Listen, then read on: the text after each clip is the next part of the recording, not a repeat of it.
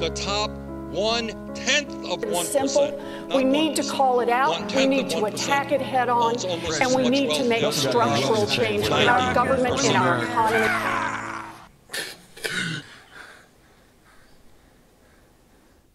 I gotta vote. The elections aren't until November.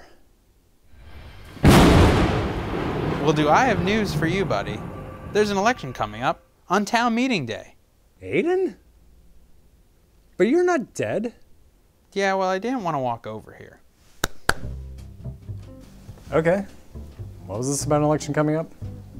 Well, on the first Tuesday of March, most Vermonters hold a meeting where they elect local officials, approve the budget for the year, and conduct other local business face to face. This is known as Town Meeting Day. Some other towns decide on these by voting by ballot.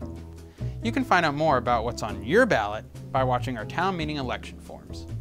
Oh, that's pretty. So, if you live in the city of Burlington, there will be an informational meeting on ballot items on February 26 at Contois Auditorium. You can attend the meeting in person or watch our live coverage. On town meeting day, your polling place will depend on the ward that you live in. If you live in the city of South Burlington, your polling place will be determined by the district that you live in. You will either be voting at Orchard School, F.H. Tuttle Middle School, or Chamberlain School. If you live in the city of Winooski, you will be voting at the Winooski Senior Center. If you live in either the town of Essex or the village of Essex Junction, a town meeting with floor voting will be held at Essex High School on Monday, March 2nd. Voting by ballot will be held on the following day. Residents of the village of Essex Junction will be voting at the Essex High School. Residents of the town outside the village of Essex Junction will be voting at Essex Middle School. If you live in the town of Williston, a town meeting with floor voting will be held at Williston Central School on Monday, March 2nd. Polling will be held the following day at the Williston Town Armory. Huh. I didn't know that's how my local government worked.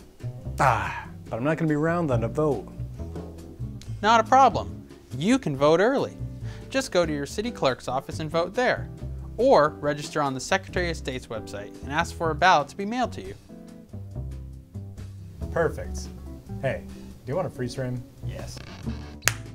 For more information on the upcoming election, visit your local clerk's website and stay tuned here to keep up to date on what will appear on your ballot with our Town Meeting Day election forums throughout the month of February. Also, this year you'll be voting on the presidential primary candidate.